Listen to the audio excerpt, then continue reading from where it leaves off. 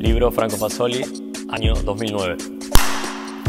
I decided to start this project in 2009 because uh, for me was uh, was a year of the change. Uh, after painting graffiti for the last 10 years, I decided to focus in another way of using the public space, uh, especially through the materials.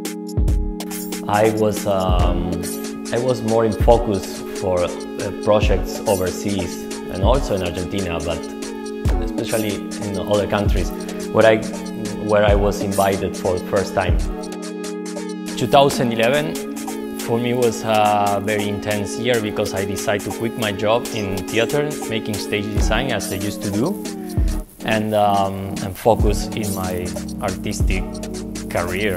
At that time, wasn't even a career, but it was uh, the beginning of the travels and festivals all around the world.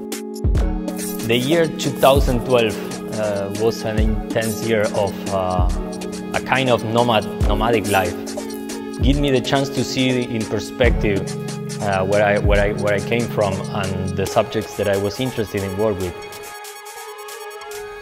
The transition from the street to the galleries uh, was a big subject. It's a tricky, um, a tricky part of this process, uh, trying to put, to put something that was uh, more contracultural into, into a system. Working in, in, a, in a different time with different materials, materials that I didn't work with before. And uh, I think was, was a, a, super important time in terms of uh, stop being uh, or being working in a way and go beyond that. The pieces that I was producing during, those, during that year uh, try to reflect that, uh, that sensation, kind of eyewitness of what it was happening in a movement who started from the scratch and then turned into this global, global phenomena.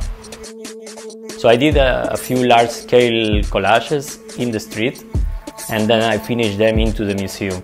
And after the show, those collages coming back into the street. So create that circle between the public space and the institution that I was interested about. It was the year that I come back to Argentina after many years of living outside and traveling around the world. So it was more uh, a year of reflection into, into my studio, my old studio.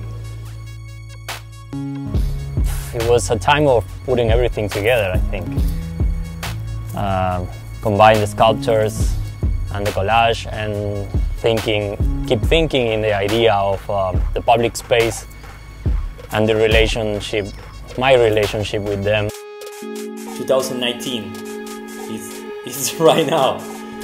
Uh, so the main project is make this book happen.